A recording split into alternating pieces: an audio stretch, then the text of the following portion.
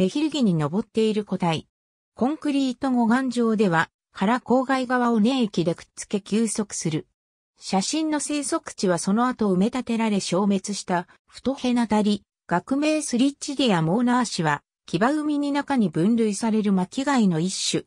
東アジアから東南アジアにかけて分布する、寄水性の貝である。いわゆる、海になる胃に含まれることが多い。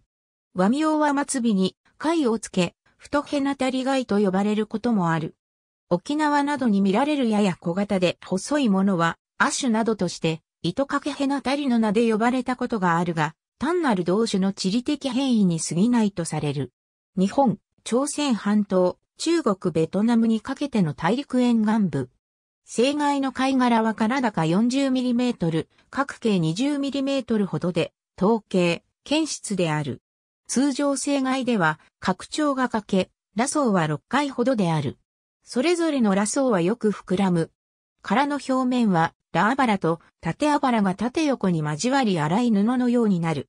貝殻の色は、明るい白色灰色から黒褐色まで変異が大きく、薪の中ほどに濃い色体が入るものが多い。ただし、角標が侵食されてしまった個体も多く、それらは布目状のあばらが消え、色も一様な灰色になる。生涯の殻口は外側に小さく反る。南体部は黒褐色で、特に糞の色が濃い。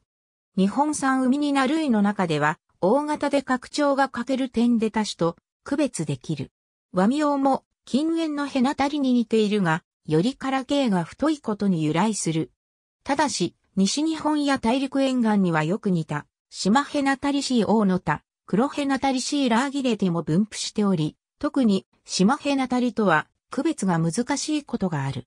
内湾域の長官帯、足原、マングローブなど寄水域の砂泥干潟に見られる。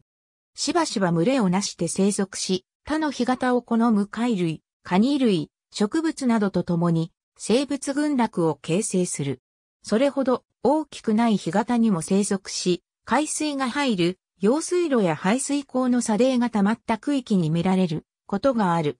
満潮線付近のあまり水をかぶらない区域を好むのが特徴で、海ニナ類では、海ニナよりさらに高い区域、カニ類では、白線種を招き足原ガニ指赤弁系ガニ、浜ガニなどと同所的に生息する。吉原や浜棒などの海浜植物群落の中にも多く入り込んでいる。自然がよく残された産地では、オカミミが以下の貝類も同居することがある。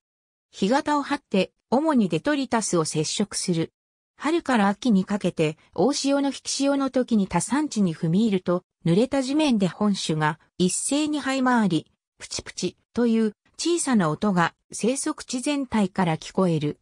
また水に長時間浸かるのを嫌い、砂泥状だけでなく、植物やコンクリートの壁によく登る。本種を捕獲して水槽などの水中に入れると、水面上に出るべく活発に張って、壁をよじ登り、蓋がなければ、容器外に出てしまうこともある。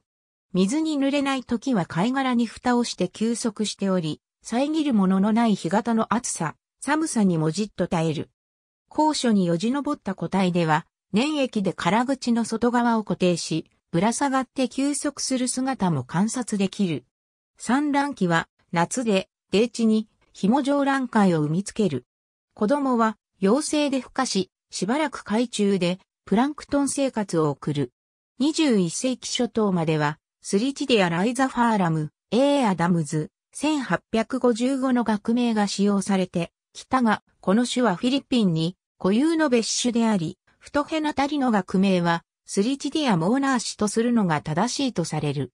人や地域によっては、他の海になると同様に漁獲され、食用にされる。南日本の干潟では普通に見られる貝の一つだが、埋め立て、干拓、春節などによって干潟が消失し、それに伴って生息地が減少している。小さな干潟にも生息するだけに、まず本種の保全ができなければ、他の希少種も保全できないという説もあり、保全上重要な種類として位置づけられている。ありがとうございます。